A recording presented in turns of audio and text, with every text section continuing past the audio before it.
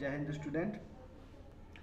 This is your chapter four of your computer book more on M S power point two thousand seven ठीक है? Power point के बारे में जो है इस चैप्टर में दिया हुआ है 2007 के बारे में, ठीक है? और इसमें है फ़र्स्ट हेडिंग है इंट्रोडक्शन चैप्टर फोर में फ़र्स्ट हेडिंग है इंट्रोडक्शन ठीक है?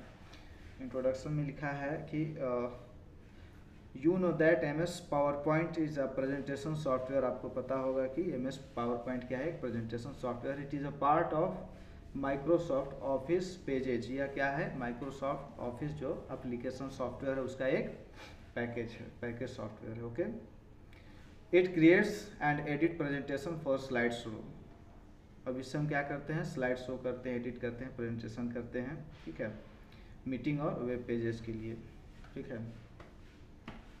अब इसमें क्या है? ये प्रेजेंटेशन जिसमें स्ट्रक्चर डिलीवरी होता है सिस्टमेटिक डिस्प्ले इंफॉर्मेशन होता है, जिसमें ग्राफिक्स एनिमेशन दिखाया जाता है, ठीक है? एनिमेशन के फॉर्म में MS PowerPoint helps you to structure and idea information that you want to convey the audience. ये एक फीचर्स देता है एम एस ऑफ़िस जिसमें हम क्या करते हैं? ऑडियंस को कन्विंस करने के लिए अपना एक idea information slide by slide बनाकर शो कर सकते हैं, ठीक है? नेक्स्ट हेडिंग है यूजेज ऑफ़ प्रेजेंटेशन अब इसका क्या यूज़ है? यूज़ देखेंगे, फ़ायदा क्या है?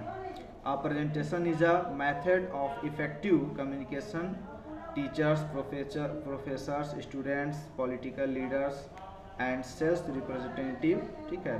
Sales representative make presentation to explain various concept to the audience ठीक है?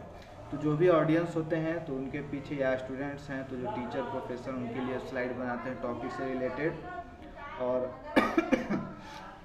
पॉलिटिकल लीडर्स अपना प्लानिंग जो होता है जो पब्लिक के लिए प्लान किए हैं, वो दिखाते हैं ओके और जो सेल्स रिप्रेजेंटेटिव होते हैं सेल्समैन होते हैं, वे अपने प्रोडक्ट के बारे में प्रेजेंटेशन बनाकर लोगों को एडवर्टाइज करते हैं, ठीक है? अब है पावर पॉइंट स्लाइड्स। इसमें स्लाइड्स क्या है? स्लाइड क्या होता है? ट्रांसपेरेंसी ऑफ़ सीट होता है।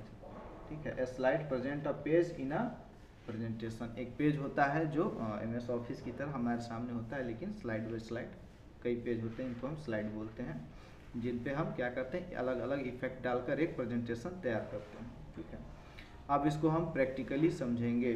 ठीक है, प्रैक्टिकली समझेंगे।